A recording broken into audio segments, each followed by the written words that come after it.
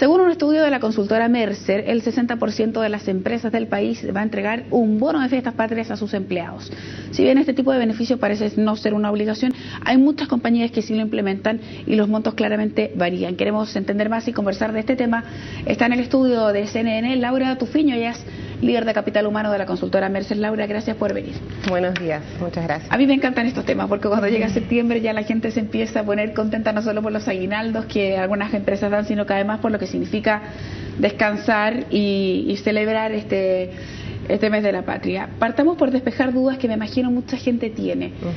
¿Es obligación o no de las empresas entregar el aguinaldo eh, llegado al mes de septiembre? No es obligación, no está estipulado legalmente que las compañías tienen que entregar un bono, una ayuda o una caja eh, en ocasión de fiestas patrias.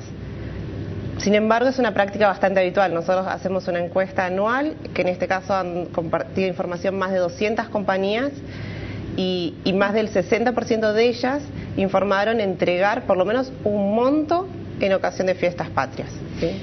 ¿Puede ser que un año una empresa entregue el beneficio, entendiendo por beneficio que puede ser el monto en dinero o puede ser una caja de supermercado u otra cosa, un año que lo entregue, el otro no lo entregue, el otro sí lo entregue, que sea irregular dependiendo de la situación económica de la empresa, por ejemplo? Finalmente no están obligados. Ahora es muy raro que una compañía otorgue un beneficio y lo elimine al año siguiente. De hecho, podría haber algún tipo de, de evaluación porque cuando hablamos de beneficios en general suelen a permanecer en el tiempo. Es muy raro que, lo quiten aún cuando haya un tema financiero.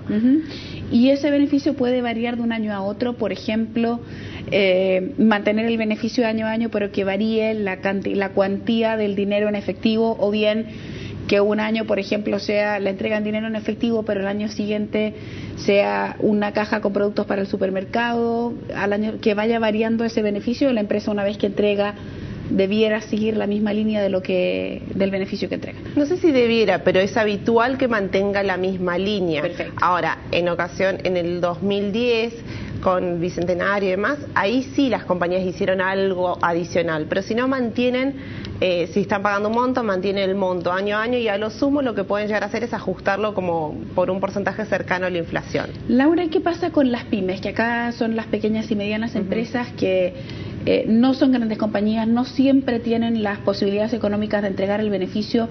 El 80% de los trabajadores de Chile está inserto en una pyme. Desde ese punto de vista, ¿cuál es un poco el diagnóstico que han hecho, si es que lo tienen, respecto de lo que pasa con las pequeñas y medianas empresas en nuestro país? En realidad, este estudio de 200 compañías básicamente cuenta con información de multinacionales o grandes empresas nacionales. Ahora, probablemente las pymes estén más orientadas a, en vez de dar un monto en efectivo, a dar una caja con productos. ¿En qué se gasta en general el aguinaldo cuando eh, lo entrega la gente? No sé si han hecho estudio también de qué prefiere hacer con el aguinaldo o qué tipo de beneficio prefiere, si es que el dinero en efectivo o la caja del supermercado que trae varios productos. El empleado prefiere el efectivo. Ahora, ¿en qué lo utiliza? No, no te lo podría decir pero, pero tiende a preferir eh, el efectivo por sobre la caja. ¿Cuánto influye en el clima laboral que una compañía tenga o no tenga este beneficio?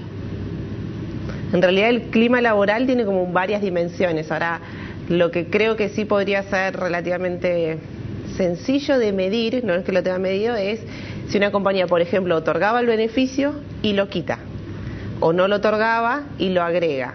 Ahora, eh, una vez que está instaurada una organización, lo importante para, para que los empleados lo perciban y lo valoren es seguir trabajando en la comunicación y, y, volver a, a, reconocer que la organización, está, el objetivo que tiene es como colaborar con, con, el festejo de esta celebración importante para el país, es decir, dar un aporte para asegurar que todos tengan la oportunidad de pasar unas lindas fiestas.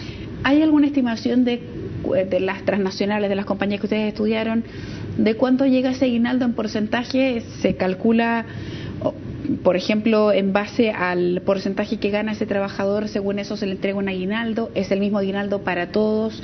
¿Hay una estimación de cuánto va el monto? Mira, nosotros hicimos el análisis y finalmente lo que encontramos es que del total de las compañías que dan, solamente un 20% de ellas eh, da un porcentaje de su salario mensual. Ya. ¿sí? El resto en general otorga montos fijos más del 90% del resto otorga un mismo monto para todos los colaboradores. Y desde el punto de vista del clima laboral, de nuevo, ¿es más recomendable que una compañía entregue el mismo monto para todos sus trabajadores, indistintamente del organigrama o del puesto que tengan en, la compañía, o eh, preferible que ese aguinaldo sea en relación a un porcentaje del sueldo? En realidad, yo entiendo que es un momento de de festejo y de celebración para todos, con lo cual la colaboración no está mal que sea el mismo monto para todos. ¿Y los aguinaldos para efectos eh, tributarios y de, de reglamentación se imponen, no se impone, va por aparte? Están sujetos a retenciones e impuestos. Están sujetos a retención. Bien, Laura, te quiero agradecer mucho por haber venido al estudio de CNN a comentar de este tema que es bastante grato de preguntar porque muchos están esperando y quieren saber finalmente cómo se cómo se trabaja este tema de los beneficios y, y sobre todo si son exigibles o no al final a una compañía. Así que gracias por venir al estudio. Gracias por Que te vaya muy bien.